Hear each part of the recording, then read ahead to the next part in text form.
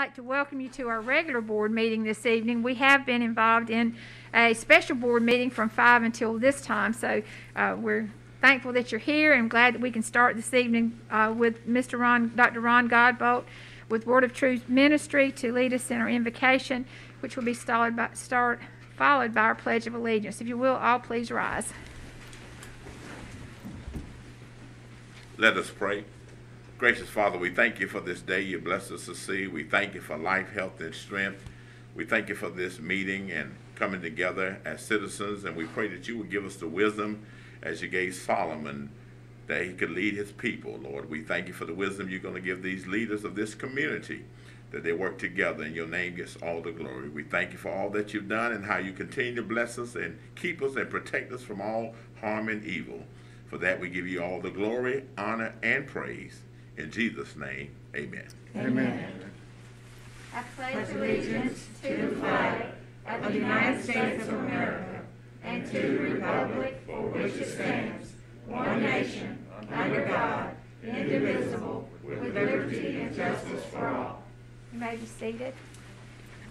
And Dr. Godbolt, I hope you're going to continue to be a part of Hope Mills, even though I know that you were relocating our church. Yes, ma'am. I'm committed to that. Uh, thank you. I appreciate you so much. Easter sunrise service. Yes, I'm on, on board. Thank you, sir. All right. At this time, do we have any additions or deletions to our agenda?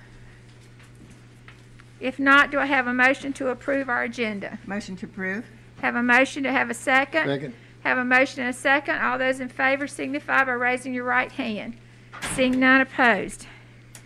At this time, I'm going to ask the board if they will go down in front of our desk.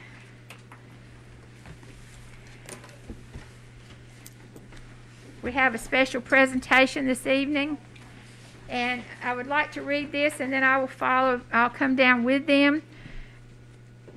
As many of you know, Miss Adams, our town manager, is retiring. She's worked in municipal government for nearly 30 years, wearing many hats and serving many roles. She began as a deputy town clerk, tax collector for the town of Pinebluff, North Carolina from 1992 to 2001. In 2001, she joined the town of Carthage, serving as the town clerk, development administrator. She was also appointed deputy finance officer in 2008. Melissa was hired as town clerk for the town of Hope Mills in March 2011.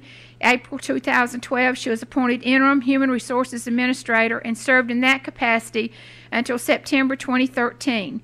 In January 2017, she was appointed town manager, the first female to serve in that role. Melissa has had many accomplishments during her time in municipal government. She's certified municipal clerk since 2002, a master municipal clerk since March 2009. She's a notary public. She's had numerous FEMA emergency management classes. She served as a mentor for new clerks from 2011 to 2016 with the International Institute for Municipal Clerks. She was appointed to the Board of Directors for the North Carolina League of Municipalities in October 2014 and served until September 2017. She served on the Legislative Committee, the Membership Committee, the Finance Committee, the Mentor Program, State Certifi- Certification Committee, Program and Education Committee. 2016, the IIMC Site Selection Committee and the NCAMC Executive Board for the North Carolina Association of Municipal Clerks.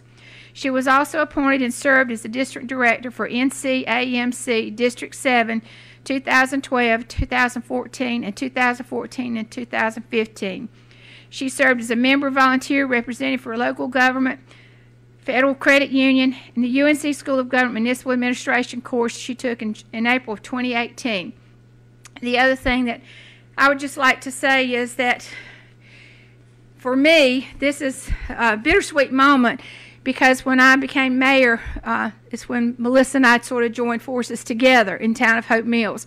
I'm greatly going to miss her. It's because of many things that she's mentored me and helped me as far as knowing what a mayor's supposed to do because you don't come with a, a box of, of rules and ideas of what to do when you're elected in an official capacity that you've never done before. So I appreciate all that she's done for me and all that she continues to do uh, in her role as an advocate for the town of Hope Mills. We have a special presentation tonight. She's going to be with us till March 31st, and there is actually a retirement celebration on that day. But tonight we thought since this is, would be her official last board member, we wanted to recognize her for all the things that she's done for our board and for the town of Hope Mills and for our staff. So Melissa, if you'll come forward. We have a special presentation from the board. We'd like to get a good picture of you with the board also. This is a special clock presented and it reads, on your retirement, April first, twenty twenty-one, thank you for your many years of dedicated service. And this is presented to And I want to get you in the middle of here, so we can get this board.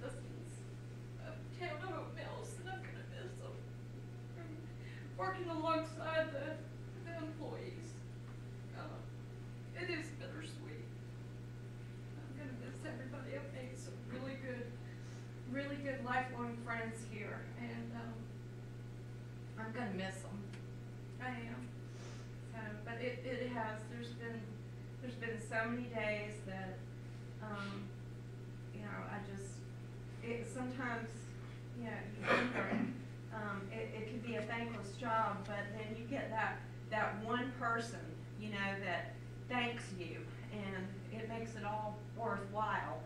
And the citizens here are great, and um, it has. It's been an absolute pleasure working for the citizens and and um, working alongside the employees. You know, the employees here are the greatest. And I'm gonna miss them, so, and I, I think the world of them, so. But thank you, thank you. Thank you.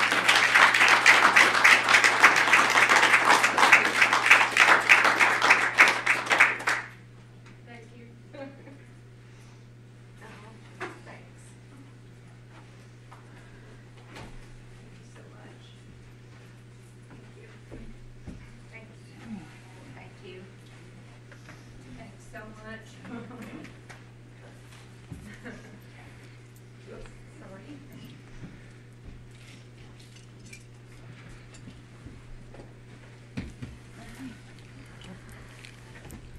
Okay, back to this.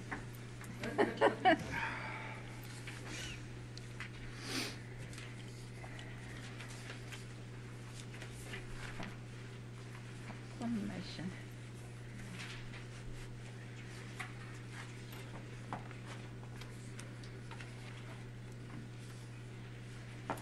Also, we have with us this evening Mr. Bill Zell, and he will be our interim town manager, Mr. Zell. So if you'll stand so that people can see you, recognize this is, he will be, uh, he starts officially uh, this evening, and he will be here with Melissa to be trained until um, March uh, 31st, and then he'll assume full responsibility. Thank you for coming this evening, sir. Thank you so much. Mhm. Next, I have a special proclamation. Whereas the Veterans of Foreign Wars Auxiliary conducted its 106th year of volunteer service to America, whereas year after year the organization continues to honor those who have made the ultimate sacrifice in the name of freedom by maintaining memorials to their service and sharing their history with our nation's youth, so that what our nation's veterans have done for America will not be forgotten. Whereas Veterans of Foreign Wars Auxiliary supports the troops currently deployed overseas. Whereas the 470,000 members represent families of those who have served or are currently on foreign soil protecting our freedom. Whereas members volunteer nearly 1 million hours in Veterans Affairs medical centers and other hospitals throughout this country. Whereas the organization provides awards and scholarships to students based on their expression of patriotism through art, speech, and volunteerism. Whereas the 2021 National President Sandra Onswelder is rallying VFW auxiliary members behind her theme, honoring our mission to serve veterans. And whereas March 31st, 2021 will be a time to celebrate her visit to North Carolina. Now, therefore, I do hereby, hereby proclaim March 31st, 2021, honoring our mission to serve Veterans Day in recognition of the National President Sandra Onswetter and all members of the VFW Auxiliary for their outstanding volunteer service to veterans and their families, to the town of Hope Mills, and our great country. And we do have several uh, uh, vet, uh, Veteran Foreign Wars Auxiliary uh, units here in Hope Mills, one at the 10670, 10630, and one at 670.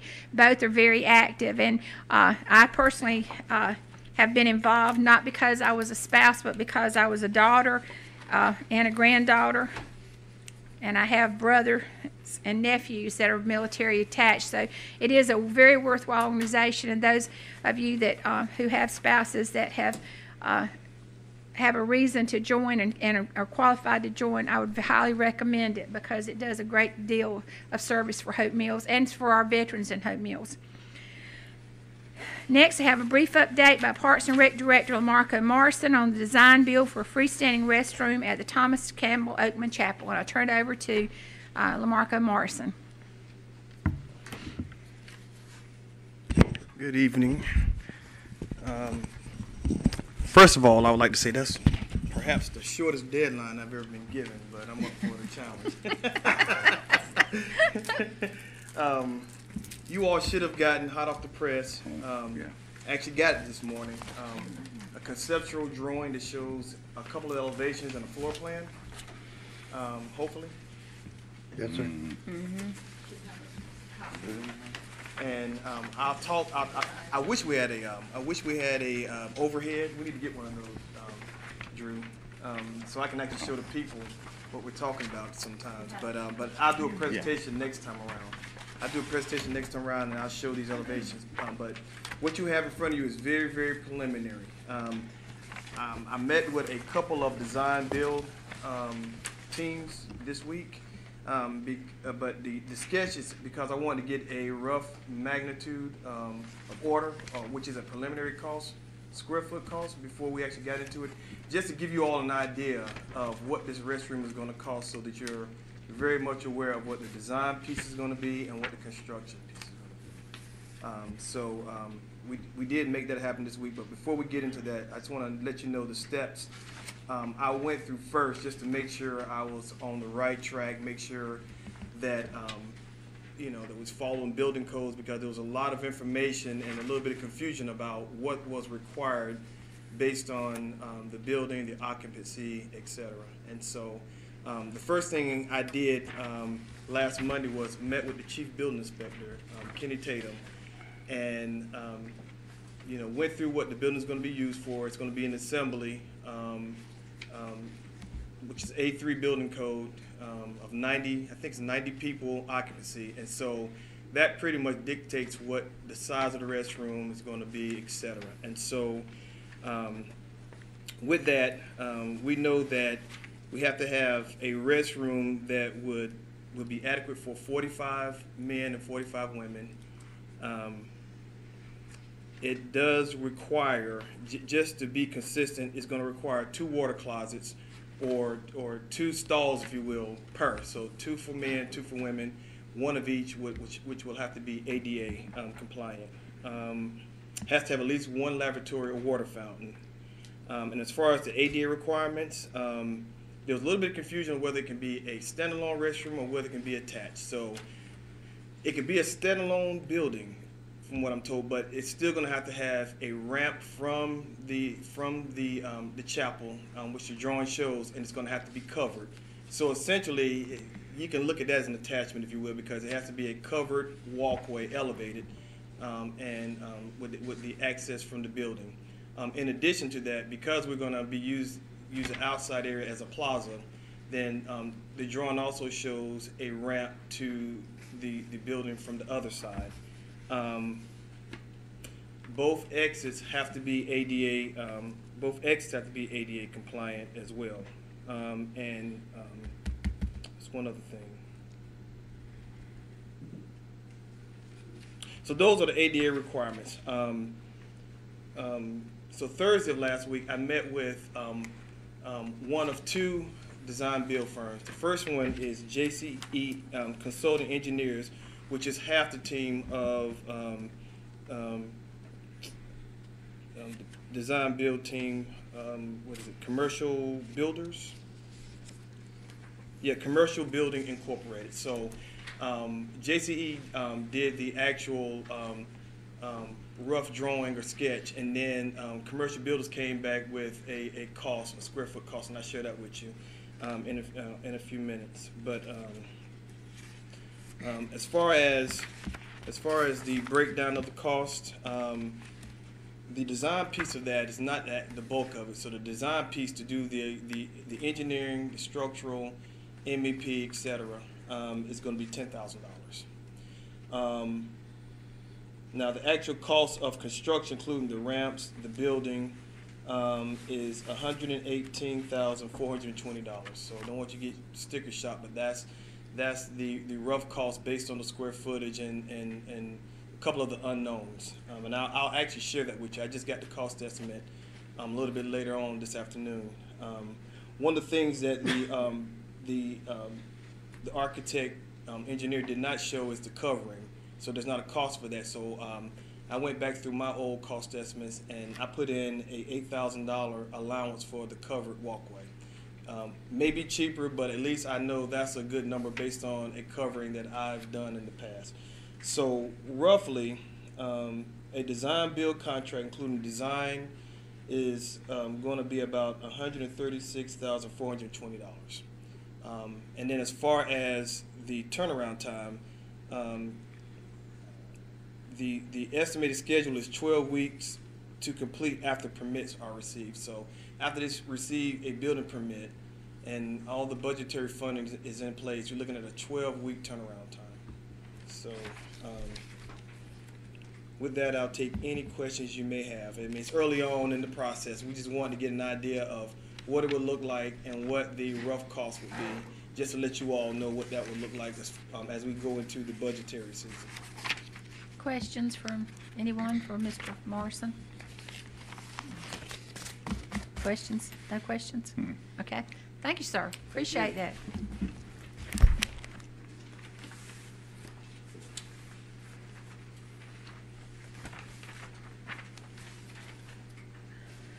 Okay.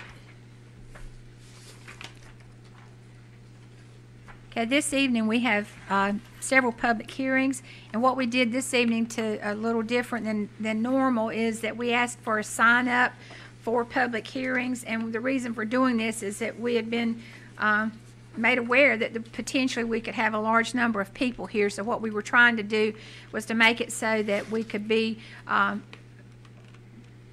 fair to everyone, give everyone opportunity. It, it appears that as far as the um, public hearings go, in all cases, um, we can go with a normal procedure of public hearing. Do you have any other than the one, um, I will not put a time limit uh, on, we were going to if we had a large number, but for speaking for the first hearing, there's five with, I don't know how many public comments do you have, Ms. Starling, that were sent in by email? had the one that was asked about for Mhm. she said she was fine with me delivering a printed copy to you. Okay, so everyone, I don't- this does not have to be read if they, I mean, let the board read it. Okay, so if everyone will first draw attention to the one that is before you, and if you have not done so, uh, there is one that was sent to you, and this one was sent from, uh, Lorianne Stanky, and, uh, you got this by way of an email also today, if you read your emails. Okay, at this time, we're gonna, I need a motion to open the public hearing, and, um, I, at this time, do we need, um, Mr. McLaughlin, do you need to have anything as far as presentation to this, or just open hearing? Motion to open the hearing. Have a motion to open the hearing. What we'll be doing is, this hearing will, uh, is there anyone here that would like to speak against this hearing? I'll read what it's for. The hearing is public hearing on the intention to close the Crampton Road right-of-way from the Crenshaw Drive intersection to the Par Four Village property. Is there anyone here that would like to speak against this uh, proposal to close this road? Seeing none, at this time, our first speaker is um, Maria. And if you will, introduce yourself and uh, give your address and come to the microphone at this time. Yes, good evening, Madam Mayor, uh, members of the board, and neighbors. If you will wait for just one moment and let him Oh. the mic. It's a little tricky. Okay, now it's, good evening, everybody. Uh, We live in 5717 Crenshaw Drive, Uh, a little bit over three years. We um, purchased our home, um, moved from Florida. We chose the neighborhood because it was an established neighborhood, uh, peaceful and quiet. My husband came over, he went by during the day, during the night. It was fantastic. So if they open Crampton, uh, everything is going to change.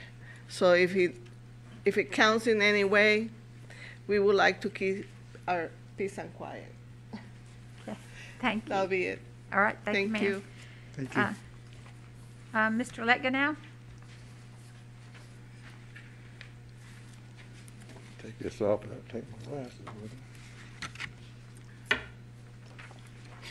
Madam Mayor, Commissioners, Ms. Adams, congratulations on your retirement and staff. Um, I was going to get up here with a long speech and talk to you all about what we've talked about for the last year, but I think uh, we've said enough of it. There's, there's just one major concern that we've developed here over the weekend. Once I got the uh, agenda that was coming for the night, uh, there's one area on the uh, order that the ordinance uh, NS 20 21-03, order closing Crampton Road, and bullet number four. Uh, a lot of concern and talk about this. Uh, no individual property owner in the vicinity of the street or in the subdivision in which it is located will be deprived of reasonable means of ingress and egress to his or her property. Uh, and I don't know if you can ask questions at a public hearing. If not, I'll make a statement. We, the, the interest here Mayor. I mean, interrupt. Okay. can he, can you enlighten us on that bullet point? Just, I mean, explain it to us what it means. You actually have to find that as a, as a board, you have to determine that you're closing the road doesn't deprive property owners of ingress and egress to their property in order to close the property, close the road. If you didn't make that finding, you wouldn't have statutory authority to close the road. So I guess, I, and I wanted clarification on that. I was asked earlier, and, um, I didn't mean to interrupt you, That's so fine, that's taking fine, your time, that's but, um, so, so what, so, I guess his question to me earlier was, does that mean it stays, that people can still use it, or it's closed, it's closed, right? It's closed, it's permanently closed. What, all it means is that by closing that road, you're not depriving someone of access to their property. In other Even- words, they're not Okay. now landlocked because they have no means of egress and ingress to their residence. even par four. Correct. As long as they have access from some other location, then that's, that's the finding. The Yeah. finding is that closing this road will not deprive them of access to their property. Excuse me, Madam Mayor, Mayor. Yes, sir. Then, as we speak, then par four has another use that they could get into their property, correct? That is my understanding. That's what the board needs to find as a finding of fact. if you- Yeah. if You want to close the road. Goff, Golfview driveway is their uh, choice, will be their driveway. Thank you, Madam Mayor. Thank you. Okay, that's, that's all I have. Okay. I do want to thank the, uh, Ms. Adams and their staff for all the assistance we've had in the last year. We've had a lot of crazy questions coming your way, and we appreciate your patience with us. Thank you.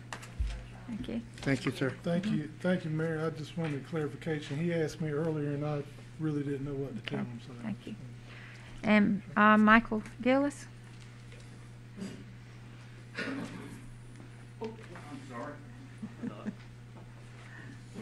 I gotta take, golly, it takes a long time to get undressed here. Uh, I really had a speech written, but I'm not gonna use it, thankfully. Uh, I really want to thank y'all, uh, for your support that, uh, we received finally a little bit over a month ago. Uh, voting to start the process to close Crampton Road because it would have definitely had a negative impact upon the neighborhood, and we all know that. And I want to thank you, Ms. Adams, and staff, uh, uh, Hope Mills cooperating with us and helping us out, and y'all for your, your cooperation as well, too. And I still encourage you to vote five to zero to permanently close Crampton Road. Thank you, Thank sir. Julia Warfel?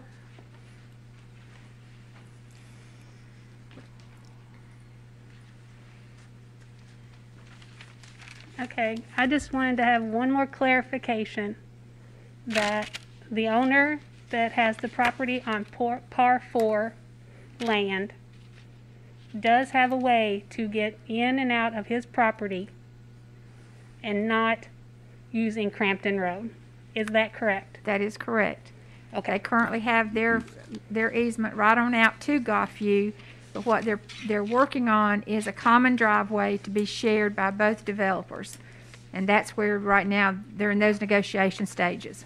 But Okay. it'll, their driveway will be on Golfview. okay. And thank you. Thank you. Thank you, ma'am. Eddie Maynor?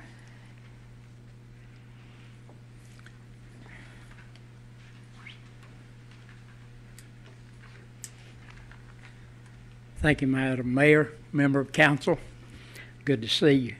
Uh, I was going to make some comments, but uh, as the others have said, I don't see that that's necessary at this point. I just want to ensure you and thank you because I, I feel that the residents that live in our subdivision, uh, it's not been any of our intentions to make your jobs any harder than what you already have or make things tough for you. But I did want to reemphasize the integrity of the neighborhood is very important. It's an old established neighborhood, as you all know. We have a lot of uh, senior citizen residents, a lot of children in that area, and certainly uh, we know that growth and we know that development is coming, but it's always that we need smart growth and smart development in Hope Mills and looking way down the road. So, with that to say, uh, I'm very grateful. Uh, I served on the committee, and I'm very grateful for the support that the residents, my fellow neighbors, have shown in the uh, this ongoing project. But certainly, I'm hoping tonight that we will see a unanimous vote and keeping that street closed permanently. So, uh, with that, again, I thank all of you for your time and thank you for your willingness to serve our community. And with that, thank you very much. Thank you, sir, and thank you for the service that you've given the town of Hope Mills. Uh, Is there anyone else who would like to speak in favor of the closing of Crampton? Madam Mayor, I'll make a motion to close the public hearing. Have a motion to close public hearing. Second. Have a motion and a second. All those in favor signify by raising your right hand. Madam Mayor, I also like to make a motion to approve ordinance NS 2021-03, order to permanently close the Crampton Road stub effective March 15th, 2021. Second. Have a motion, and um, at this time, uh, if you will, uh, all those in favor signify by raising your right hand. Seeing none opposed, Crampton Road is officially closed on March 15th, 2021. And thank you very much. And I appreciate the citizens, I appreciate the large numbers, I appreciate uh, the emails that sometimes we uh, felt like we uh, needed to answer, but in some cases, we didn't answer because, again, we knew that we were working on the process, and this is the, the process has happened. So I want you to know that uh, you've done a great job. You've done an excellent job, and we hope that in future, when we need, uh, you need, we need your support for whatever project is coming toward Hope Mills, that you'll help us and be an advocate for that too. Because sometimes we get so involved in not my neighborhood, we've got to remember that all of Hope Mills is is ours, and so we want to protect the whole town. So you've done a great job, and I appreciate appreciate everything that you've done, and I also appreciate the fact that um, um, former Commissioner uh, Mr. Maynor agreed to serve on the committee. The committee will continue to have a meeting because before the the actual plan comes back to the board, the committee has to approve it. So whatever their development design is and whatever they plan on doing, it's still got to make one more step before it's final. So I just wanted you to know that also. But again, Mayor, yes, sir. just a second, please? Yes, sir.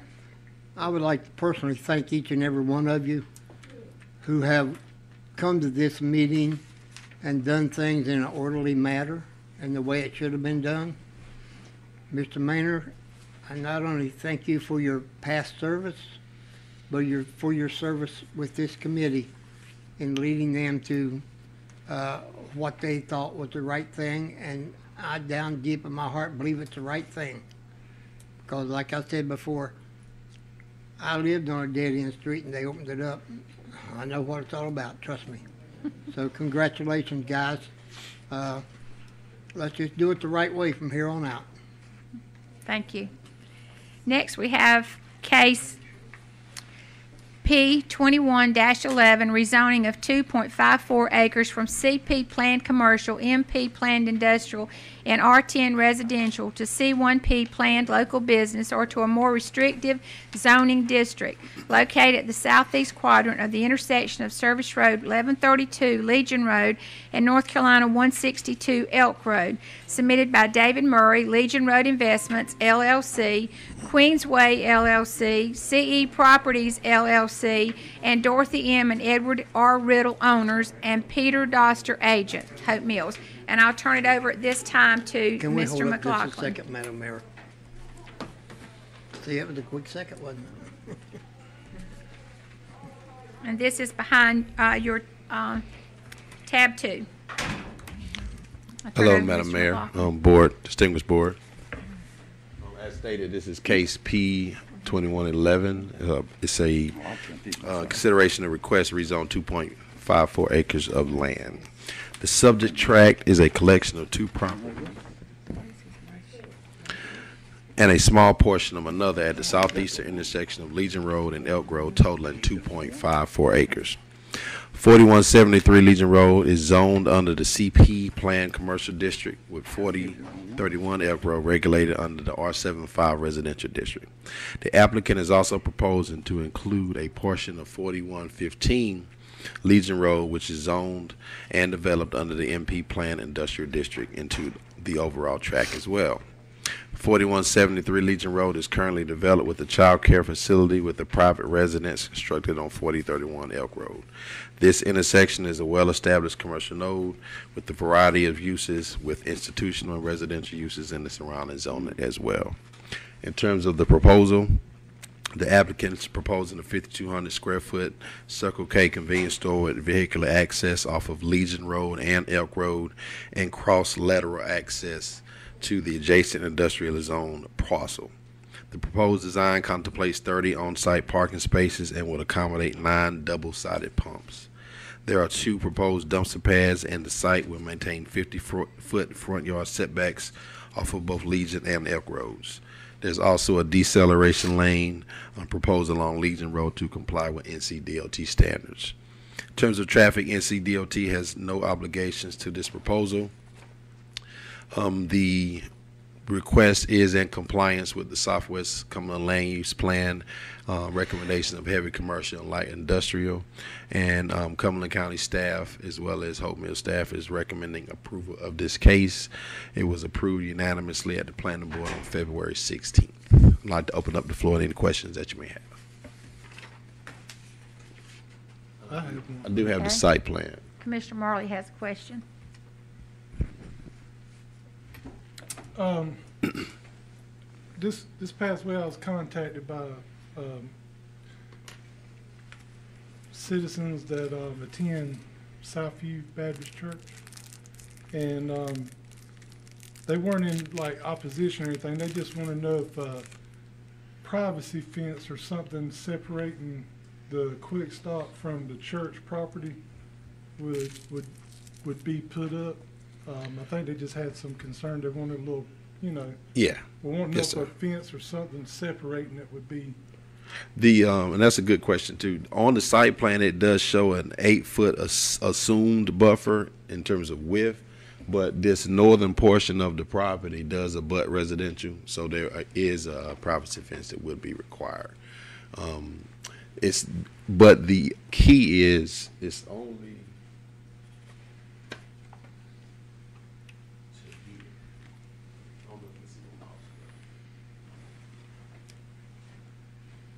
Here to right around here, um, is where you have the privacy fence. It basically has to have a privacy fence where it abuts residential. Um, but they do have, um, they have it listed as an assumed buffer, but I can talk to them because in, in my world, they do have the ability to, to do a buffer in whatever ways they want. Most of the times when you have establishments like this, they will choose, um, a privacy fence as a buffer. Um, but I will confirm, that is a requirement, but I will work with them to, to make sure that comes to Because, uh, as like I said, no, they, they, they weren't in opposition of it, they just wanted a privacy fence for, you know, Typically, um, the two Circle Ks that we have approved, the, um, one on Cumberland and Main, um, had the same issue and they put their privacy fence up there as well. but I told them I'd ask, so. Yeah, thank you. Okay. Do we have other questions?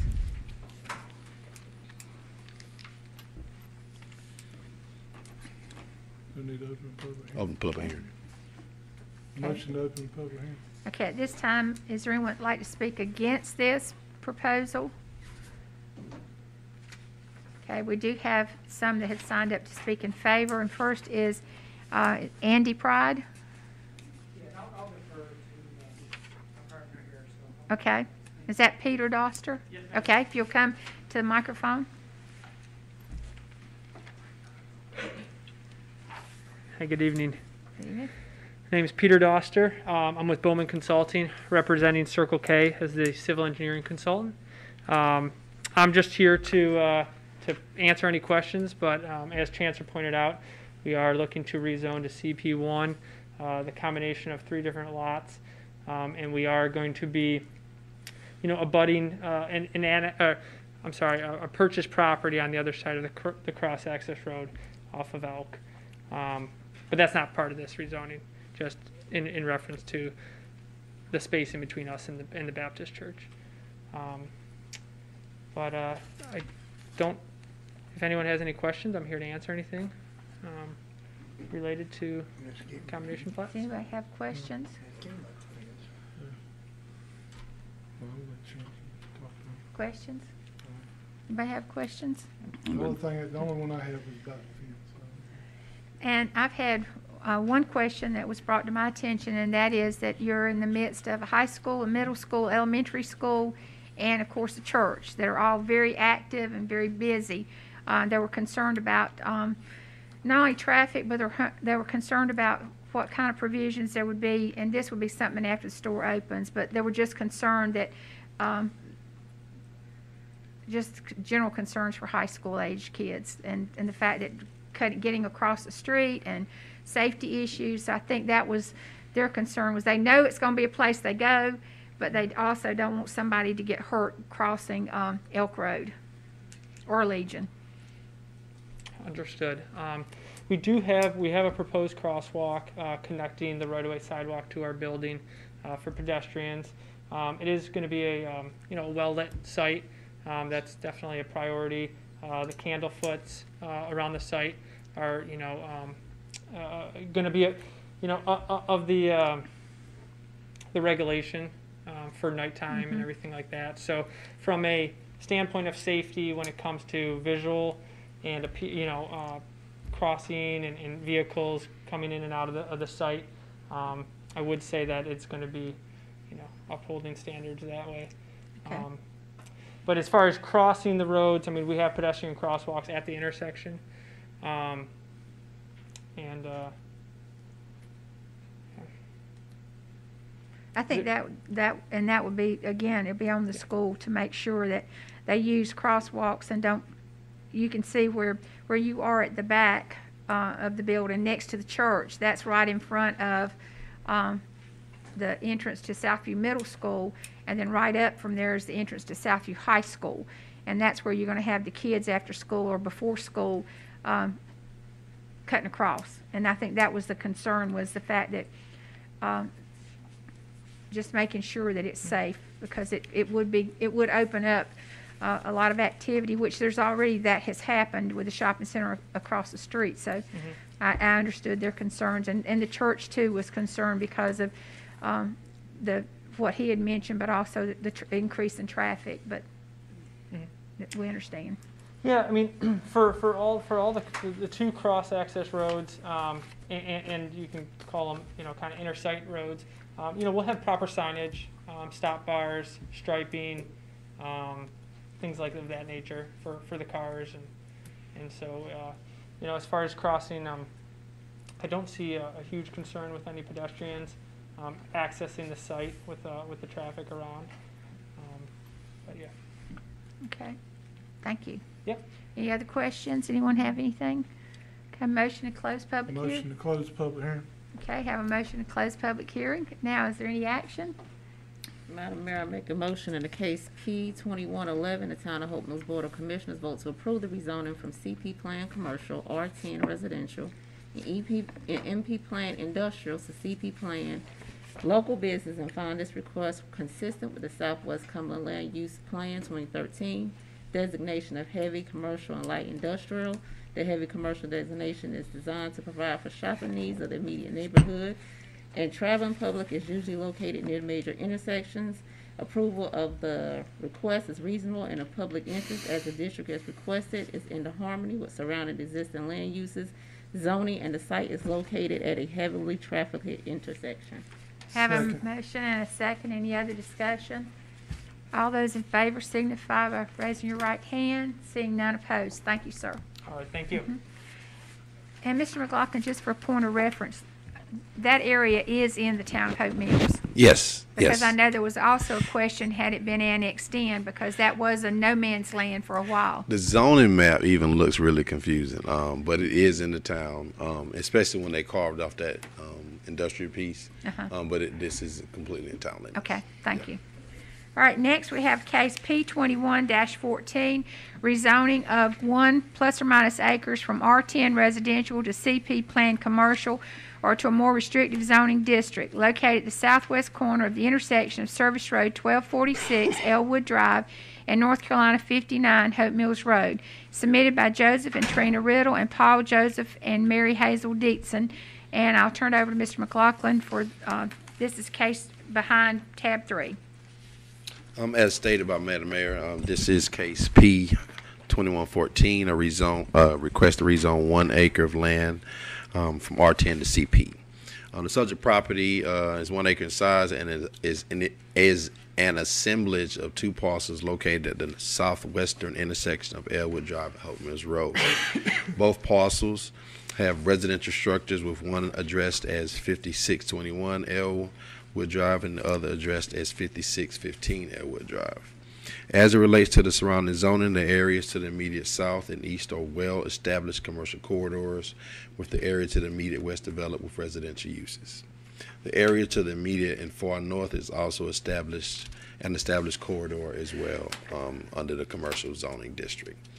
The applicant is proposing to combine these two parcels into the Mill Village project that was recently approved, and I had the site plan up in a few, um, that was recently approved by the Bo- Hope Mills Board of Commissioners. The area to the immediate south was approved for a large commercial development with the two subject properties needed for vehicular access, providing a secondary entrance to the overall development. As these parcels are residentially zoned, they have to be rezoned in order to be added to the previously approved commercial development.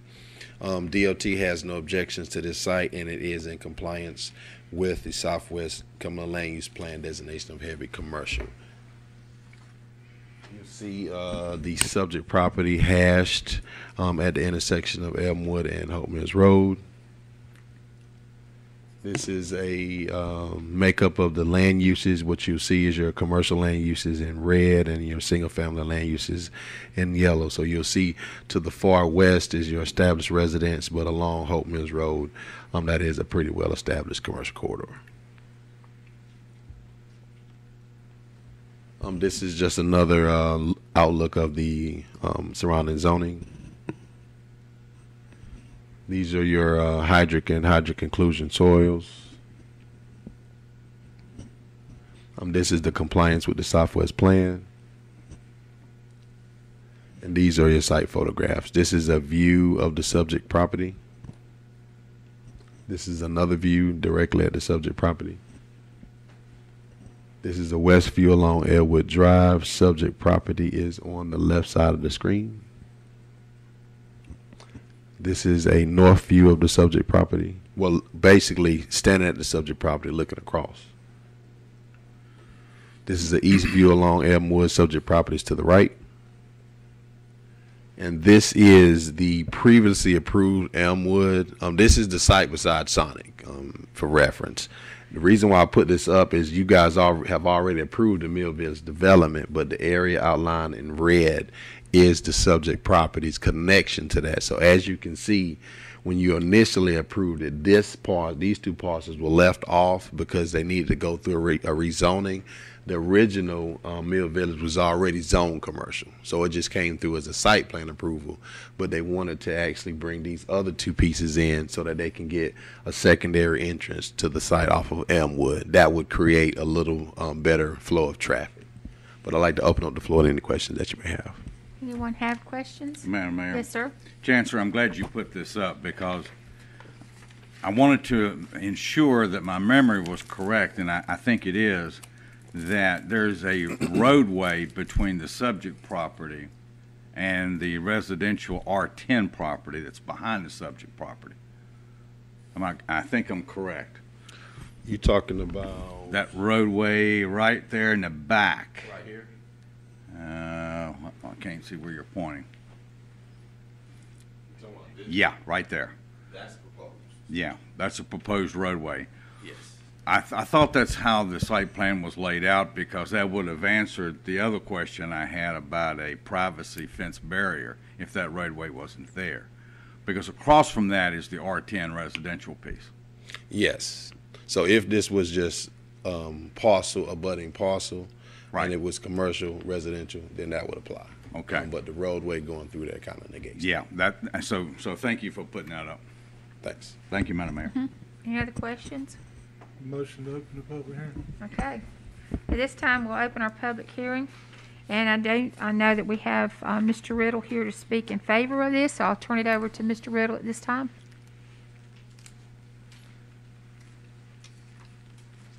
Thank you, Ms. Mayor and members of the town board.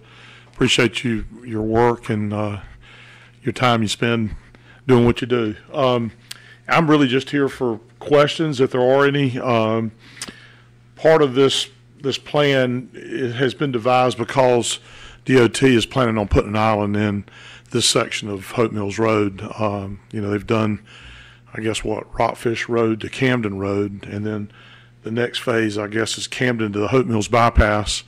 Um, it's on the plan. I'm trying to think if it's been funded. You know, DOT kind of got with everybody being in lockdown and not using much gas for a year.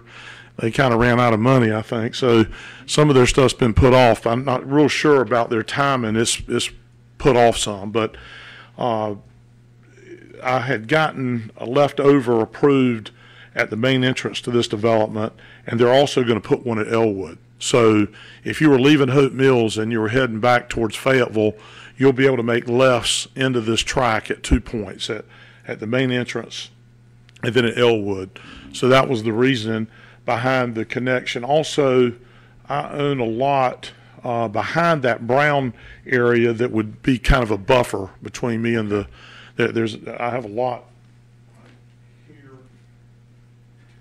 Then there's another empty lot, and then there's a house. So it is buffered some from from the houses. Um, and uh, it's not a real large development. I mean, there's, there's, there's some bad land there. I mean, I, you know, this, I understand this was a lake bed a long time ago. Some of the people that have been in Hope Mills a long time maybe remember that. Um, but, uh, years ago, we built that Advance Auto and, uh, it, it, it, I tell you, Hope Mills is a good, a good business town. That, that Advance Auto was out eh, back then in the middle of nowhere and I was amazed at how well they did there. So the idea too, I was going to try to connect that back driveway to them because they wouldn't have access to those lefts if I didn't do that. So it was a tricky site. There's been a lot of work trying to get you know wetlands determinated, and we're gonna have to put a big uh, retention pond. You can see back in the back left corner. But um, I've got some good things in store.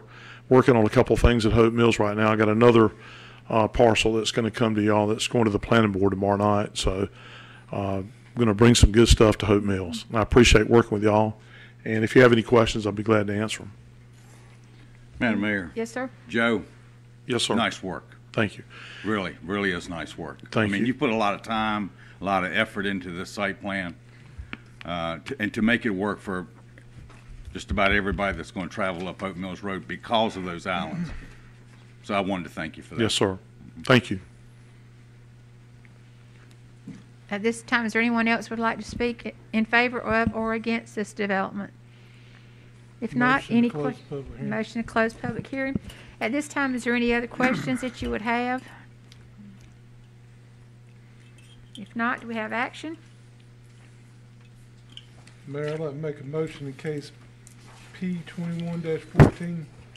The Town of Hope Mills Board of Commissioners vote to approve the rezoning request from R ten residential to CP Plan Commercial and finds the request consistent with the Southwest Cumberland Land Use Plan two thousand thirteen designation of heavy commercial and low, low-density residential. The heavy commercial designation provides for the shopping needs of the immediate neighborhood and the traveling public. Both designations desire public water and sewer. Approval of the request is reasonable and in the public interest as the district requested is in harmony with surrounding existing land uses and zoning. I'll Have- second. Have a motion and a second. Any other discussion? If not, all those in favor signify by raising your right hand. Seeing none opposed. Thank you, sir. Mm-hmm. Mayor, Mayor, I only have one question for Yeah. Mr. Riddle. Are you guys playing ball? Talk to Marco back there. Play the ball, you said? Yes, sir. Yeah, I, I'm not all grown up now. Uh-huh. Man, I, I'm missing out. When's, when's the season starting soon? Talk to Lamarco Morrison back there. He can hook you up. Thank you. He late. He late.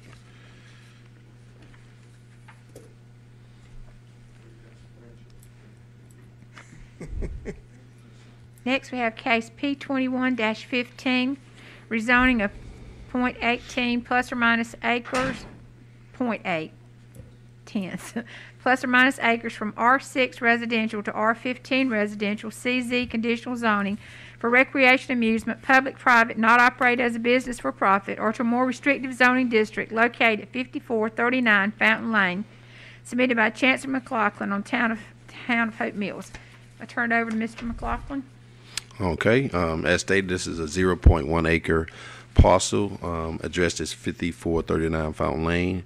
It's recently purchased by the town of Hope Mills. The site is currently vacant and fronts approximately eighty-four feet along Fountain Lane with the Hope Mills Lake property located along the red property line. As it relates to the surrounding zoning, the area immediate to, immediately adjacent to the east and west of the property regulated, is regulated under the residential zoning um, district and developed as such. Although there is residential zoning to the rear of the property, it- that property exists as Hope Mills Lake, zoned under the R15 residential district. In terms of the proposal, Hope Mills is looking to consolidate this this parcel with the Hope Mills Lake property to utilize as parking and also as a secondary access point to uh, our lake for vehicular traffic.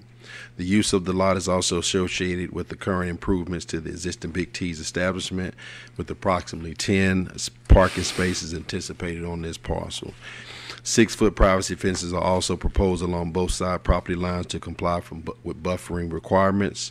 And from a zoning perspective, this request also brings consistency to the lake park with uniform zoning for both parcels.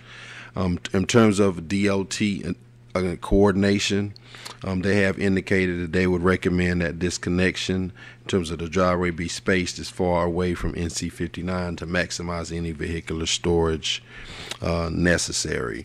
Cumberland County staff recommendation is for approval. And let me get into some of the zoning. Um, as stated, you can see the makeup of the surrounding zoning area.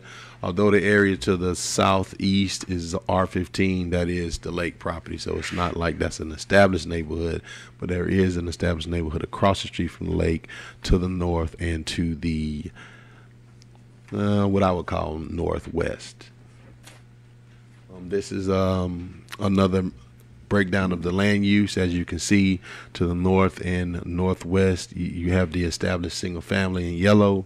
Um, at the intersection of um, Johnson and Main and across the street, um, you do have the established uh, commercial corridor along Main Street. Um, this is some area photographs that give you another kind of outlook on the zoning.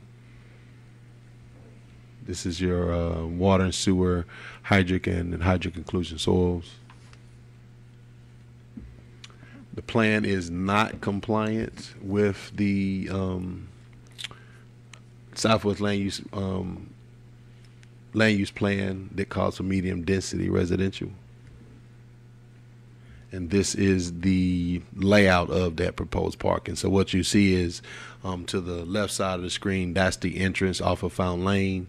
And to the right side, that's basically the consolidated entrance now into the Big T's parking lot. So at the end of the day, this development will achieve the existing parking off of the main street to the lake. And now you have a secondary entrance off of um, Fountain Lane to our lake property. From my understanding from Public Works, I think this is the entrance where a lot of boats will be using um, for the boat ramps and things of that nature. But I'd like to open up the floor to any questions that you may have. Anyone have questions for Mr. McLaughlin? No questions? At this time? Motion Open public hearing. At this time, I'd like to recognize Mr. Rod McLean to speak uh, against this proposal.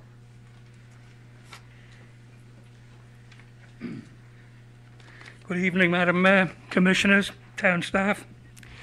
I'd like to ask you a question right off the get-go. Do any of you know how wide Fountain Lane is?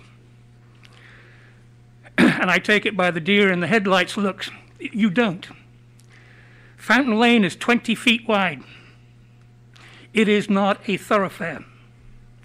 This will make it into a thoroughfare at least until the Sleeby property, uh, 5439, I think it is, Fountain Lane, the empty lot. it's going to make life difficult for the property owners getting in and out, especially if you've got somebody trying to get in there with a boat. I don't know if any of you have tried to turn into Fountain Lane. If you're coming up from the bottom of the lake, that's a real tight turn. If you're coming from the north, it is also difficult to try to find a gap in the traffic to get over. And just from personal experience, I will tell you that if you get into the turn lane, you are quite likely to come across somebody herring down the road doing at least 35 to 40 miles an hour in the turn lane to go to Rockfish Road. So it's going to make life a little bit awkward. I hope to God that you do not make Fountain Lane the exit. There is a telephone pole, or telegraph pole, on the corner. It was recently hit and broken, and they had to come out and repair it. That is right on the edge of Main Street and Fountain Lane. I come yay close to it every time I come out of the road. Not because I'm trying to, but it's just there. It's something you have to put up with. I will guarantee to you some numbnut pulling a trailer will take that pole out again. Uh, correction. They won't take the pole out. The pole will take their vehicle out. I did attend the Cumberland County hearing on this, and I asked for lighting to be put here. I definitely need a six-foot fence between my, our property and this parking lot. And because of your requirements, I understand you've got to put the fe- fence up on the other side, on the empty gardener lot. I have already put up with the green monster at the playground that was put there. It was, for quite a period of time, a hangout for people experimenting in what fornication is and people doing drugs. Because we complained enough and the public took some more notice and the police took notice, that has gone away. But two fences in a parking lot, it's not going to take them more than two minutes to figure out that this is going to be another lover's lane. So I asked for the lights. But what I'm also going to ask for, if you put gates up on the Lake Park right now, you better put a gate up on this parking lot. And we need more police drive-throughs to ensure that people aren't up to nefarious acts in that parking lot, hidden between two six-foot fences. I hope I don't come across it. But it's up to you folks to ensure that I don't. And I'm basically I'm against it. I realize that's a losing battle because you've already made your minds up. But give me a gate, give me some police protection, and give me the lights going down onto the property. Not over onto my side, but down into the property. Thank you kindly.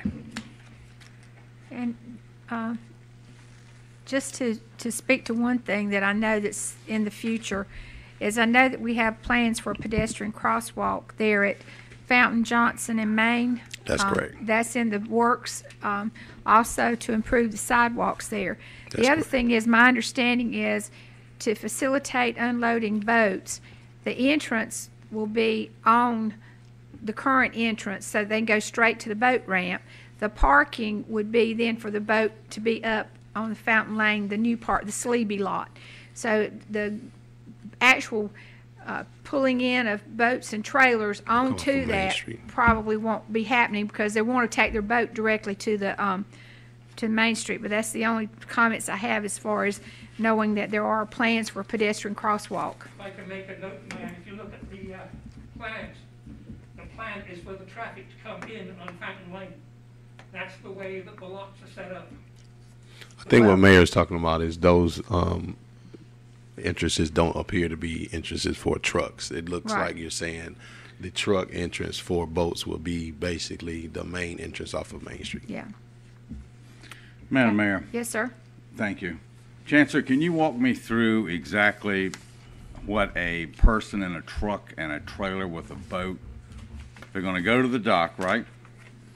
They're gonna unload their boat, Um, and then how are they going, how are they gonna navigate to get to to this be honest with you, lot? I more than likely would defer that to Public Works, who is the project manager of this. But I will tell you, um, from a uh, DOT standpoint, um, you know, we speak about zoning, um, but when we're talking about traffic concerns, we lean on the experts. Um, DOT has not expressed any um, issues with this proposal. Again, they indicated that they would like for the entrance to be as furthest away from Main Street to allow for vehicles to stack, which is what you have here.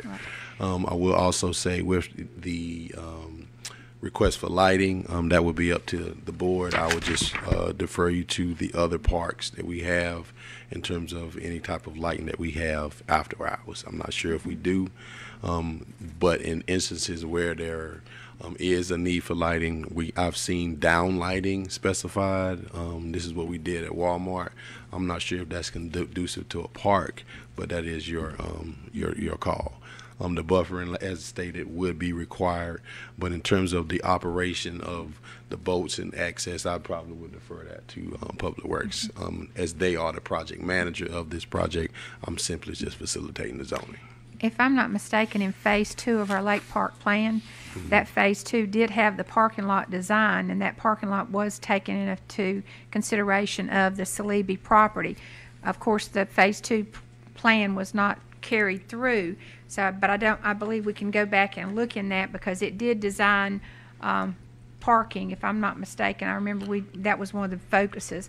And Um, I, and I will say that um, to the the point about the um, the grant we got for the sidewalks, there's a lot going on in this area. So, um, from a pedestrian standpoint, this is going to have a major um, um, enhancement at this intersection. Right now, you don't have any crosswalks, and you don't have any sidewalks on um, across the street from the lake. So that actual grant puts four crosswalks at Johnson, Fountain Lane, and Main um, a sidewalk from Johnson to Main all the way down to Trade Street across the street, and a mid-block pedestrian crossing as well. So, I think what um, appears the town is trying to do is centralize or at least provide a better flow of vehicular traffic to the site while we're at the same time trying to balance the uh, the ability of having a harmonious balance between pedestrian and vehicular traffic at the same time. Um, but I would like to point out this is a park. Um, a park is meant for public use. Um, we're actually in the process of trying to see if we can provide more parking, um, as we have we do have severe parking issues all throughout this entire area.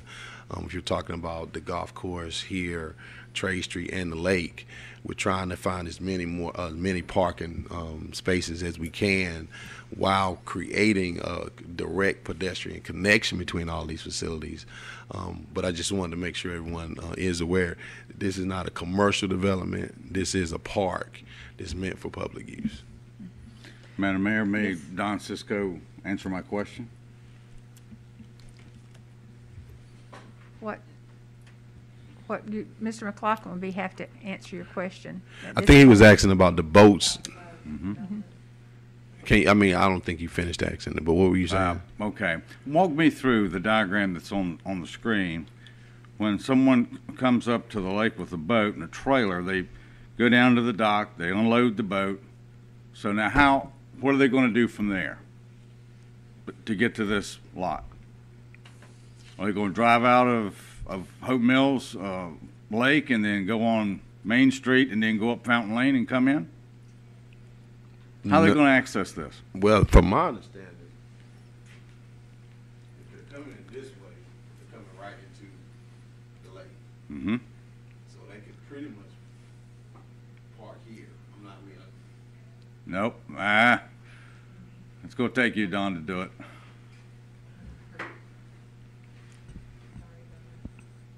You'll, you'll see where I'm going once, once he does, once he does this.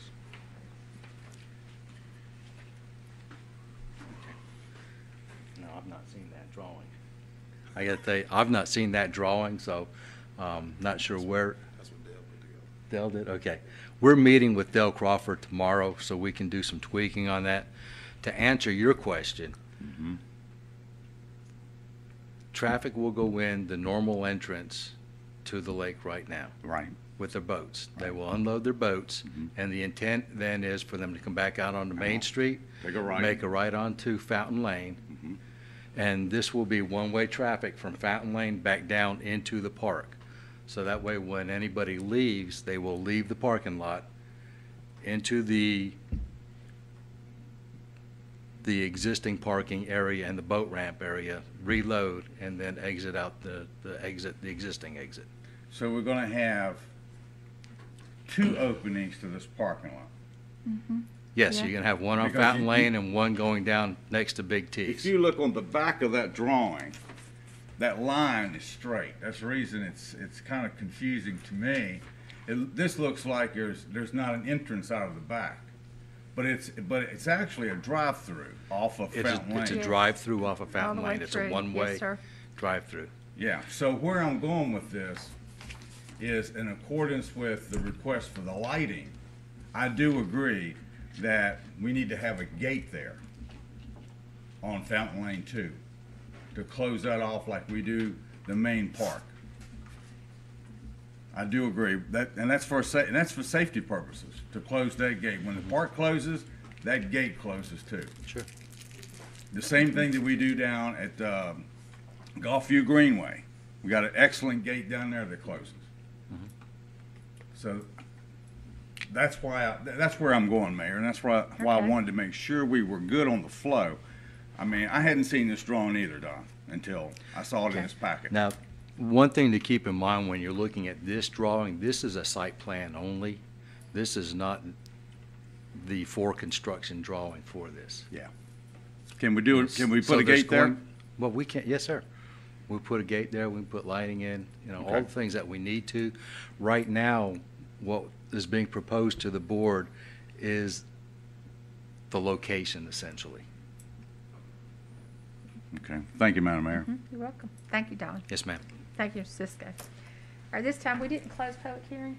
Motion to close public hearing. Okay, thank you. All right, is any other comments or, or a- actions from the board? Madam Mayor, I can make the motion. Okay, In case uh, P twenty-one fifteen, the Town of Hope Mills Board of Commissioners vote to approve the rezoning request from R six residential to R fifteen residential CZ conditional zoning for recreation amusement, public, private, not operated as a business for profit, to include the conditional zoning conditions in the site plan and include the condition to add lighting. I'm going to add a gate here.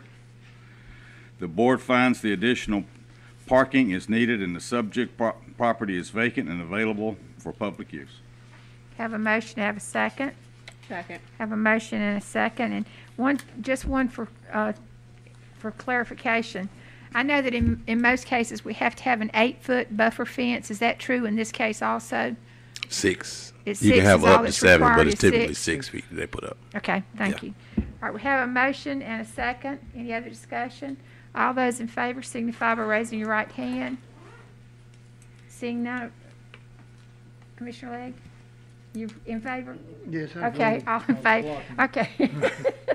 All right, Buffer. seeing, seeing, seeing none, seeing none opposed, thank you. All right, next we have on our agenda is public comments, and again, uh, we'll invite them to the microphone. The first would be Greeley Mitchell.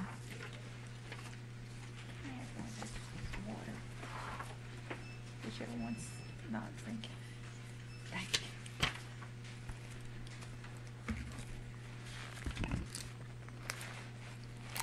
Good evening, Madam Mayor, Commissioners, town staff.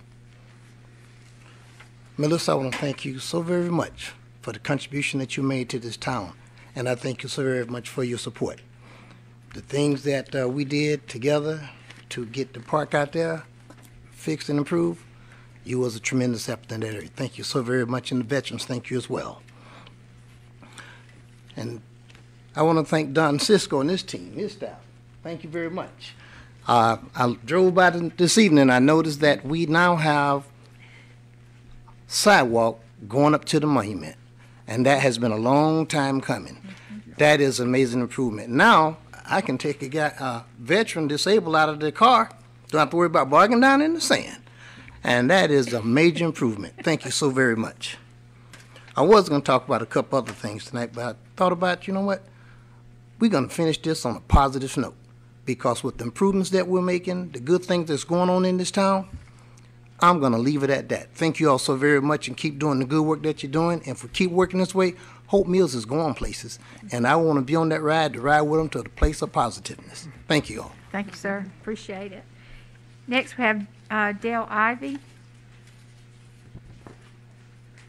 And I believe that he actually was, had signed up because of Crampton. Okay, and then um, Rod, Rod McLean.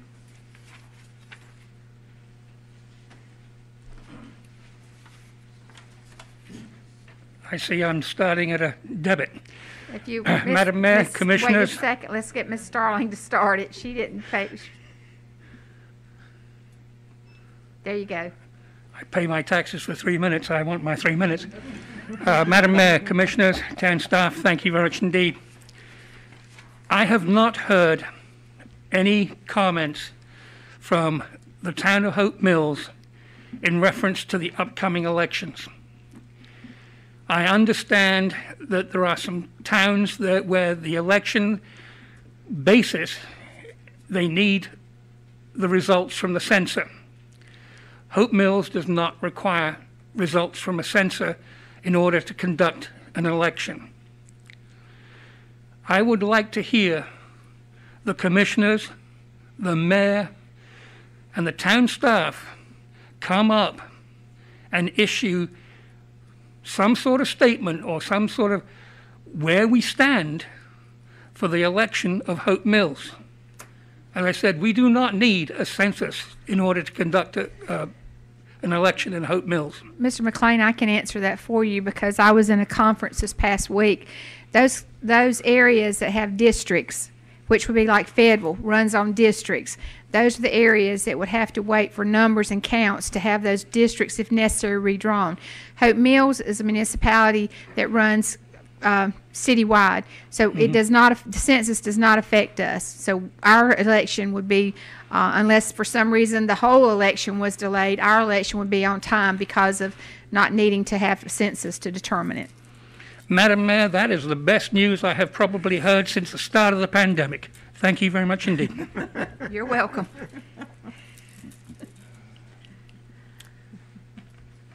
All righty then. That concludes public comments. From our consent agenda, is there anything that you would like moved to our um, new business? Or would I get a motion to approve the consent agenda as it is before you? Motion to approve as is. I have a motion to approve. Do I have a second? Second. All those in favor signify by raising your right hand. Seeing none opposed. All right. Notice I put my hand out this time. I saw that one this time. All right, this time we have new business, and the first item on the new business, consideration of accepting the bid proposal in the amount of nineteen thousand seven hundred and forty dollars from Cardinal Landscaping in the installation of a rain garden at Town Lake. And who gets this? Lamarco? Okay. And this will be behind tab eight.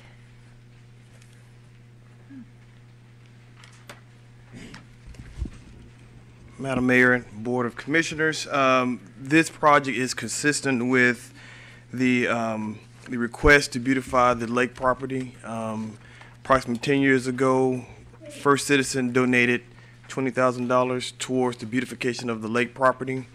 Um, this right here fulfills that, um, one, but then also it addressed a drainage issue where there's an underground spring, so it addresses that, that runoff and, um, that flooding, but it also beautifies the area with flood tolerant, uh, trees, shrubs, um, ground cover, and perennials. Um, um, one other thing I'd like to mention, there are approximately four trees along the, um, between the, the, um, the existing, um, bikeway and the road that, that will more than likely have to come out because one, they are in bad shape, but two, um, um, they are, um, somewhat diseased according to the, um, one of the contractors. So just want to make everybody aware that, um, we, there will be about three, possibly four trees that will come down, but knowing that we will replace them with the, um, four large trees that are shown on the, um, on, on the plan there. Madam Mayor, Mayor? Yes, sir? Marco, are those trees undermining the sidewalk with roots as well? The existing trees? Yes, sir. They are. They are. And and and probably when when um, Public Works come in with the sidewalk, you know, when they come back in to to do their forms and everything, they're probably gonna have to dig down to the point where, you know, the, whatever damage hasn't been done to those um, those struggling trees now, they're probably gonna die anyway because of, you know, the intrusiveness of the, the sidewalk. So. Madam Mayor, Yes, sir? Lamarco, which one of the two projects is going to start first?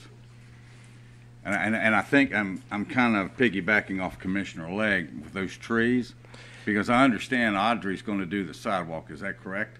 And that, that'd be a Public Works Commission, um, question. Ah, maybe. Um, based on scheduling, I do know that it won't be till mid to late April before we can begin the rain garden project, just based on everybody's workload and what, what landscaping contractors are up against now. So the trees and the tree roots are, I didn't want them to impact the, the sidewalk replacement, I guess. Right, well, and, and what, I- So what I. that's the pl- reason I'm asking which, Well, what I plan on doing before they begin their landscaping, I plan on taking, having those trees taken out anyway. So th- at any rate, they're, they're probably going to be gone before we do the rain garden anyway. So if, if, if our guys are going to start in mid-April, um, we are going to contract with, um, you know, one of our tree removal people to go ahead and take those trees out in preparation for the rain garden installation. The, the multi-use path, which is what we're calling it, the multi-use, um, walking path. Um, it's my understanding, and, and Don can correct me if I'm wrong, but my understanding is that Autry is in the process of, Okay. um, they're, they're, they've done a site visit. I think it's in my manager's Yeah, report. it is. Um, they've done, they've done the site visit. Um, they are preparing, um, to give us a, to give us a bid, well, not a bid, but they're, they're gonna give us an estimate. Okay. Um, there are a lot of things, a number of things that we have to take into consideration and that they have to take into consideration. One of those is there's going to be a considerable amount, um, of grading work that's gonna have to be Mhm. done because of the slope Yeah. Mhm. and also the length of the path, and then also having to deal with um, DOT and possible lane closure. Okay. So there may have to be some nighttime work, because Okay. we don't want concrete trucks on our grass and ruining our um, sprinklers, our Mhm. sprinkler systems Mhm. and our grass. So there's, there's all of those things that they've got to factor in. Um, so I'm not sure, they didn't give any indication when they would be giving that estimate to Don, but they are in process of looking at that. So is it fair to say, when I look at this, this project, what I, what I, what what I wouldn't like to see is we have this project finished and then the replacement of the multi-purpose track come in and tear up some of the work that's already been done by Cardinal Landscaping. That's kind of where I'm going, Marco. Okay, so- You- you- I'm, because I don't, I, this, they do beautiful work and this is a beautiful project. I will I'd say we're going to see it lost, right. some of it lost. Well, we'll coordinate it. Um, I I think I think the pressure was more or less coming from me wanting them to get started, because what I don't want to happen is um, we'd like to go ahead and catch it at you know late winter, early spring. What I don't want them to do is be planting plant materials in the summer where it's hard to establish and keep them watered. So that that's just been my window. You know, as long as we're not in the middle of summer installing plant materials, because it wouldn't be fair to them to have to try to keep those plant materials living, because that is going to be a requirement before we agree to take over, you know, the maintenance of them. Um, as far as the, the edge of the bed, we are a good five feet away from where the proposed um, multi-purpose path is going to be. So there is a little bit of a buffer. We're not right adjacent or abutting the um, the multi-purpose path, so there will be a little bit of wiggle room. Um, but at any rate, we'll we'll coordinate that with Public Works. Yeah, I, I just, I just want to caution that. Okay. You know, because I'd hate to, to see one Absolutely. project take out the good work of another, and then we have to go in and put more money into a project that, in the planning process, we could have decided which one comes first. I mean, the tree's gonna come out regardless. Right. And then, uh, then I think there's a lot of sloping that's gotta be done too, so, uh, I leave that to the experts, and that's you and Don Sisko, but, uh, that was just my concerns, and thank you, Mayor. And I just want you to know that this is a project that has been out there for so long that this just makes me my heart happy because we've looked at this since uh, 2010. So for this to be done and then the mar the marquee to be complete, so hopefully it's all going to culminate about the same time.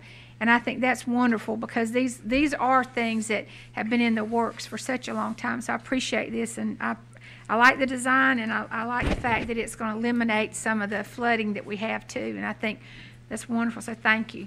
Thank you. Thank you. Mayor, And- Mayor, Mayor Warner. can I Yes, make ma'am. oh. Yes, Ms. Mr. Commissioner Edwards. I was gonna make a motion. Go Okay. ahead. Okay. I'd like to make a motion to accept the bid proposed, proposal and, um, authorize town manager to execute, uh, the agreement with Cardinal Landscaping and install a drain garden at Town Hall. Yeah, we need Town Lake. You got it? Oh, comment, Town Lake. I didn't get an agenda, Peter, so I don't know what's going on. the amount. Okay, for nine, nineteen thousand seven hundred and forty. Okay, and then I think the, hmm. the piece of that is that was the money that was supplied by First Citizens Bank for this corner. I second the Okay, motion. got a motion and a second. Any other discussion? All those in favor signify by raising your right hand. Thank you very much, and thank Thank you, you. sir. Mhm. Very good. Yeah, I know, why- when you made the motion, righty. it's like, I know you Um, didn't know the amount. Next, we have discussion, consideration of regarding the renaming of the Town of Hope Mills Veterans Memorial Park, and this was requested by Commissioner Bellflowers. Oh, thank you, Mayor. I- I'd like to have a discussion about, about an action that the board, that, that we took as a board in our last meeting. And it's out of respect to Jim and Jean Clark. And it's totally out of respect to, uh, Veterans Affairs uh, Commission Chairman Greeley Mitchell and, and his committee. And out of the, our, out, and respect out of our local Veterans of Foreign Wars VFW Post 10630. I think maybe we were a little premature when we were talking about honoring Jim and Jean Clark about renaming the park, which is Veterans Memorial Park after them. Some years ago, after Jim passed, we had a discussion about how to honor him and his service to the Hope Mills community and especially with the Memorial Park that was established in 92, 93. And at that point, the VFW had decided that we would honor them in a, in a memorial monument. Uh, and Jean was and knew that, and we were just going to wait until she passed as well, and then memorialize and honor them in a monument like we do just about every every other veteran that we've had pass in that park. We've got a number of monuments that are in that park with all with with veterans' names that have passed over the years that have contributed greatly to Hope Mills community.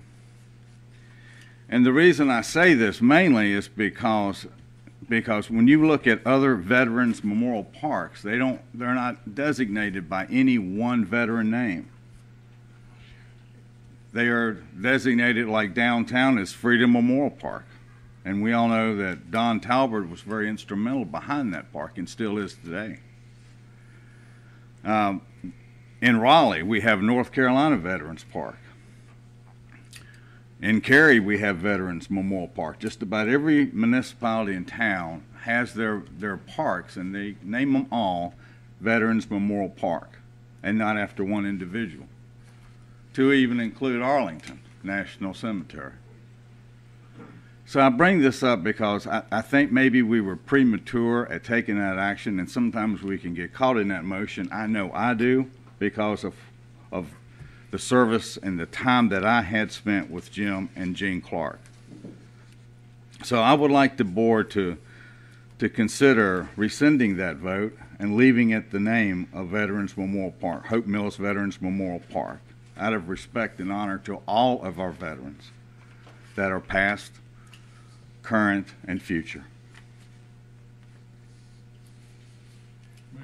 Yes, sir.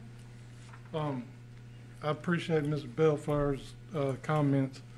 Um, I brought this to the board. Uh, I'm on the, I'm the liaison with the Veteran Affairs Committee. And they've talked about it for some time, like I said at the last meeting. And, um, I was asked to bring it to the board, and, uh, that's what I've done. Um, no ill intention on any of the veterans. Um, I'm not a veteran myself, but I respect each and every one of them. And I think that what should happen since we got a Veteran Affairs Committee is, since we've already took action and voted on it, send it back to the, at this point, just send it back to the Veteran Affairs Committee for their recommendation and let the Veteran Affairs Committee work through this and come back to the board with what they want, with what the Veteran Affairs Committee wants. Um, so that would be, that would be my recommendation is not, not change our vote right now, but send it back to the, um, Veteran Affairs Committee for recommendation. And let them work through it as a committee. Is, would that be all right with you, Commissioner Bellflower? That'd be fine. Mhm. Okay, so at this point, we're not changing anything. We're gonna refer it to the Veterans Affairs Commission, and then y'all, uh, can, when you meet, bring it back to the board. The Okay. chairman, the, the chairman of that committee's here tonight, so. Yeah. Do we need a second on that? Or is that just a consensus? There's I just think con- I consensus. think consensus Because will I be didn't make a fine. motion. That'd be And I, fine. and I wanna go on record too, I, I'd like to go on record too as saying, like I said before, no ill will toward any of the veterans. Um, like I said, I, I'm sure all of us, as well as me, we respect everything they do and everything that they've done for the community and they keep us free and allow us to sit here tonight and, and, and talk about this. So, um, I just, I'm, I'm the liaison to that committee and, and I feel like we should send it back to them because they're the one that asked for it first. So that's why I want to send it back to them. Okay. Commissioner Marley, I thank you for your words, and I thank you for your kind words toward our veterans. And just know that as we sit here tonight, my granddaughter is at Fort Jackson as a member of the United States Army, and she is two weeks away from graduating basic training. Thank you very much for that. Okay, at, at this time, we have, um, we had the good fortune to be in conferences last week, most, most all the week.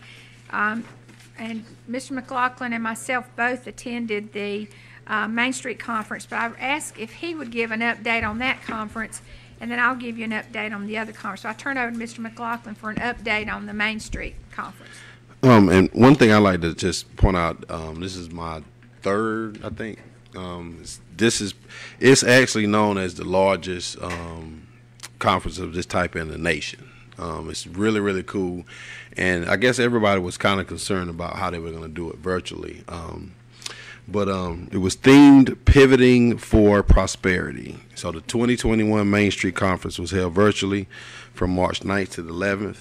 Um, in general, the main focus of the Main Street program is to help build more resilient towns, downtowns that are better equipped to face the next challenges of a growing and diverse economy. Um, with a four-point approach to downtown revitalization, the program was developed to combat the negative impacts of development of malls and strip centers that attracted anchor businesses and relocated them from downtown areas. With that end, the 2021 Main Street Conference explored a commitment to local um, as one of the keys to economic development in small cities and is not only locally owned businesses um, but locally it's tied to locally locally invested investments in general. Um, as the largest statewide downtown revitalization conference in the country this year, the Main Street program celebrated its 20 year anniversary. Some of the keynote speakers um, that were there were from the Johnston County Visitors Bureau, the town of Chapel Hill, Belmont, Main Street Downtown Directors, uh, the North Carolina League of Municipality was was there, um, Blowing Rock Chamber of Commerce. Now, all these were keynote speakers who actually had uh, individual presentations. Um, City of Morganton, North Carolina Department of Public Health, and Alexander County Economic Development Corporation, to name a few. Um, now, in terms of the sessions I attended, um, I'm a super nerd. I look at all of it. Um, but I attended about, I was popping in and out of multiples at one time. So they had it set up where you can just, and it's still up. I'm not if sure if you know that, Mayor. Um, the website is still up. So I was looking at um, some of the videos um, earlier today, even though the conference is over. But some of the uh, sessions I attended or participated in, um, tips to simplifying um, marketing for you and your merchants. It's a, a session that included marketing strategies focusing on increasing the impact of downtown merchants' marketing efforts. Uh, making Main Street uh, Main Street a destination was another session. This is a webinar. Um, from the NC Main Street and Rural Planning Center, who is also doing our Gateway study. Um, their program um, is titled um, NC Main to Main Trail, which is a virtual trail highlighting designated Main Street communities. Um, it's another session, Great Trails uh, Plan and Downtown. This is a session by NC Department of Transportation's Integrated Mobility Division focused on a statewide trail network with goals of connecting state park cities and downtowns. Um, there was another keynote um, address that I was really interested in um, resiliency for locally owned businesses. This was a session that centered around the kinds of economic stimuli that cost little to nothing and opportunities to do more with less. Um, five more where all trails lead to downtown, diversity and inclusion, uh, nuts and bolts of public finances, um, is downtown development ready, and pivoting um, to virtual events. The reason why this is so important is because my goal is to have Trade Street officially um, instituted into the Main Street program. Um, we've been talking to NC Commerce about this for a number of years. It's about a three-year commitment.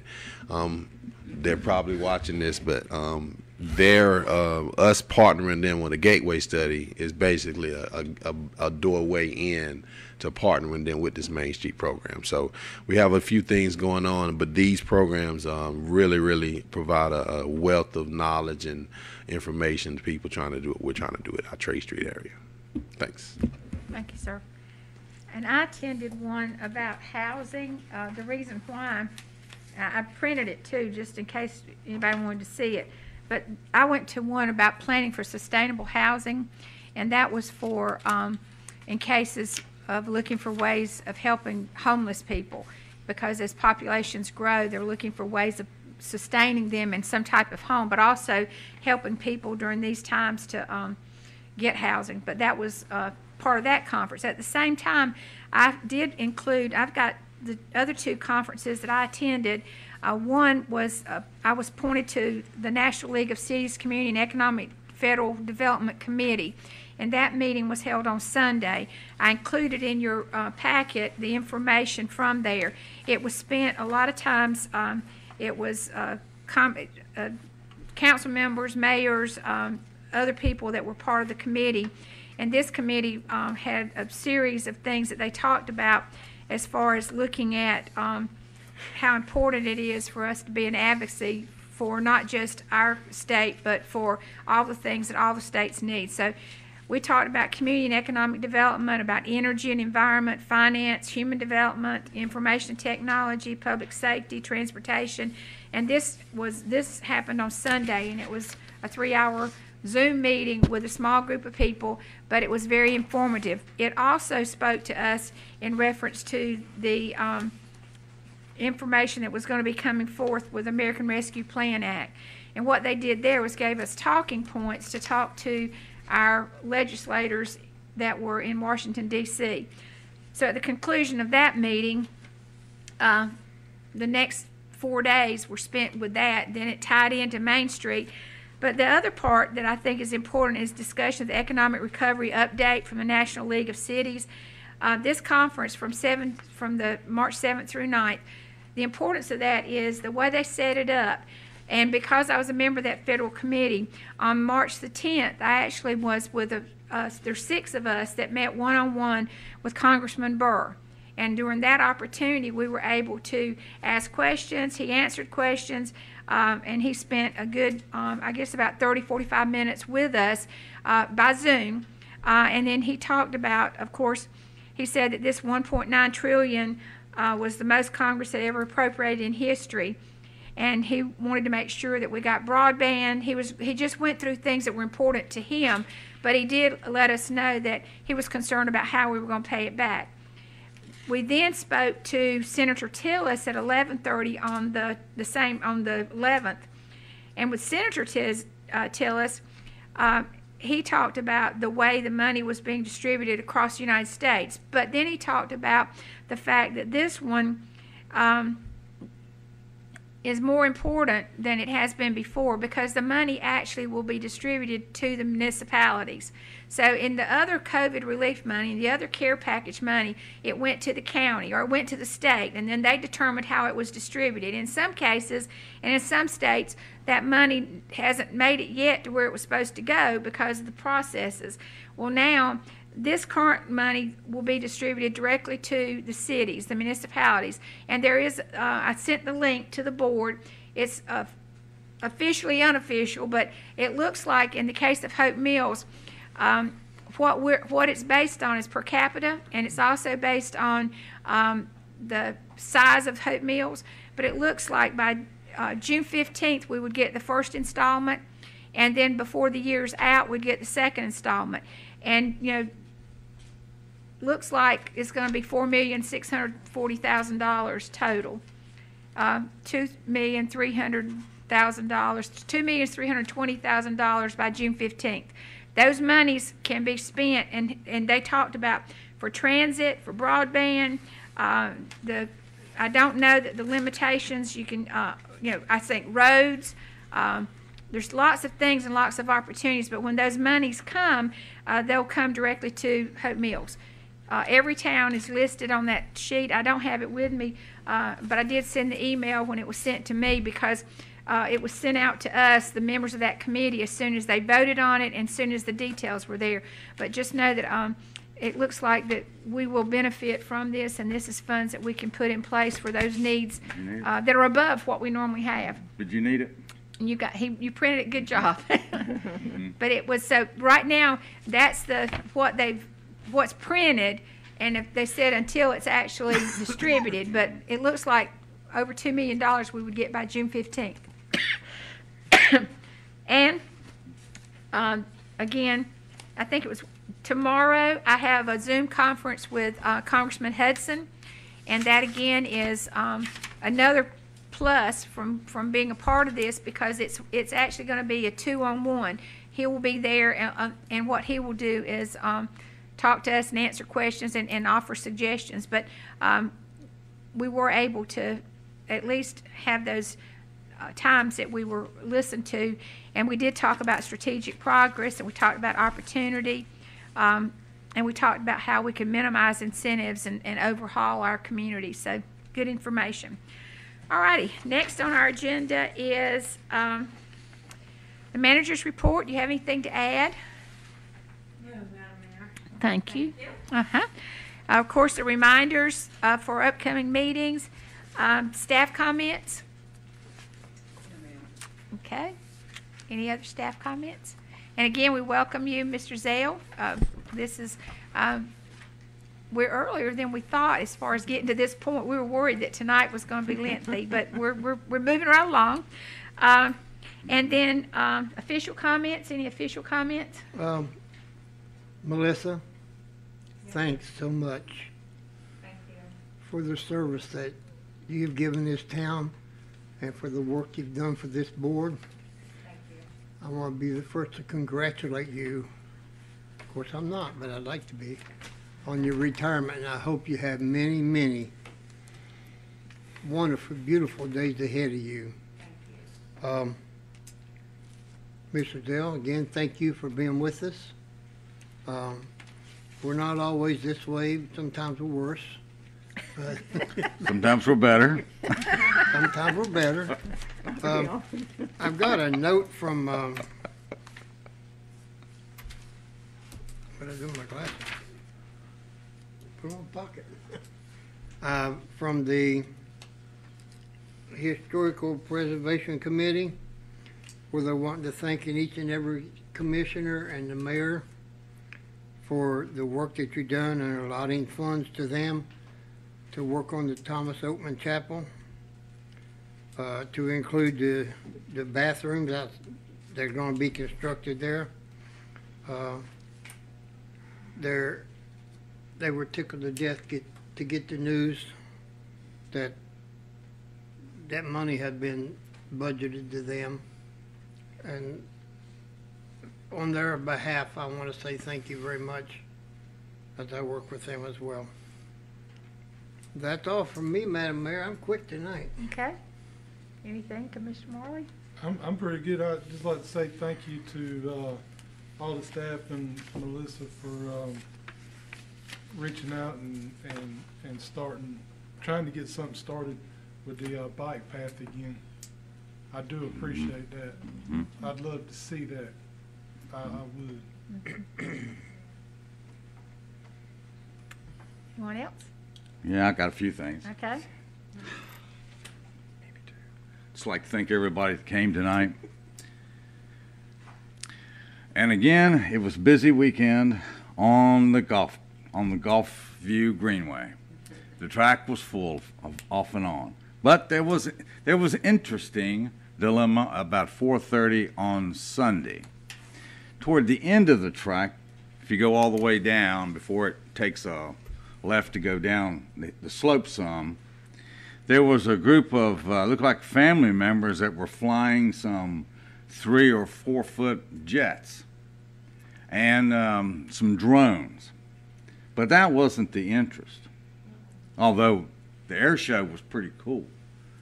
There was two Hope Mills police cars there. And there were some folks that were walking the track, and, and I didn't know anything about it. 'cause I was like, okay. They were talking to each other that I guess some type of backpack had been found or abandoned or something on the golf course, and that's why they were there. And the the folks that saw all that action, they were really pleased that, that the police department was there. That was the takeaway, and that's what I wanted to share.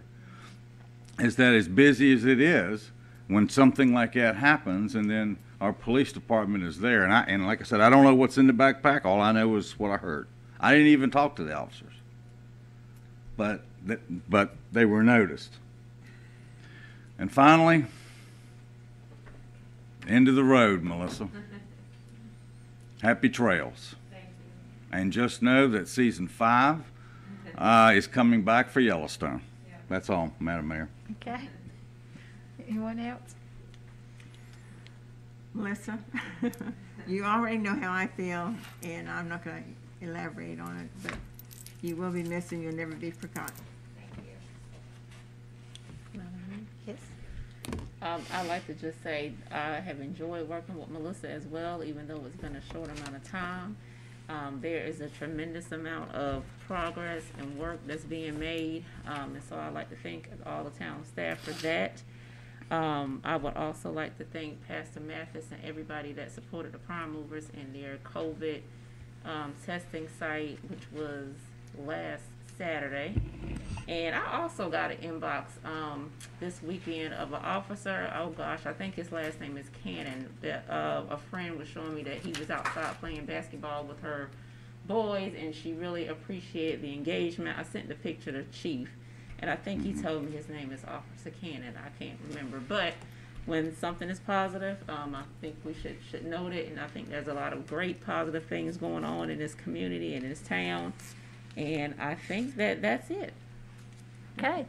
Um, one thing that I have that it's tentative, but I think it's going to happen, and that's the mayor's youth leadership has chosen uh, March 27th from 1 to 3 to meet at Southview High School. And if, as far as I know, their uh, road adoption signs will be in, and they're going to, they've got parents and teachers that are going to help supervise, but they're going to clean from Southview to Biscuitville, um, both sides of the road. And Oh. they've got the, they'll have the um, support of DOT, but I, I, as soon as it's official, I'll let Chief Acciardo know because I believe that, um, you know, that would be an area that I'd like to have somebody over there, but it's supposed to be March 27th, it's a Saturday from 1 to 3, and they, they are going to participate with the town on the town's cleanup.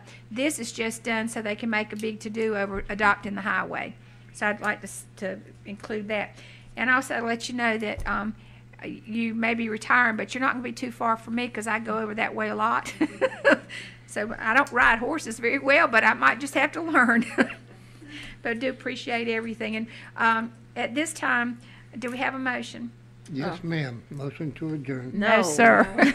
Oh, oh, you got Madam Mayor, I'd like to make a motion to consult with the attorney to protect, to protect the attorney-client privilege pursuant, pro- We got another one. no, yeah, we got another one. Pursuant to GS one four three three eighteen eleven A three related to property acquisition, one four three three eighteen eleven A five.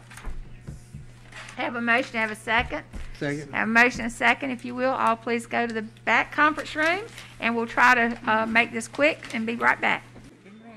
At this time, I'll call our meeting back to order. Do we have a motion? Madam Mayor, I'd like to make a motion to mo- seal the minutes of the closed session to such time as the release of the information will no longer frustrate the purpose of the closed session and further no action was taken. Have a motion, have a second? Second. Have a motion and a second. All those in favor signify by raising your right hand. Seeing none opposed, do we have another motion? Motion to adjourn. Thank you, everybody, for coming this evening. We'll See you. You're welcome. See We you don't- we don't soon. vote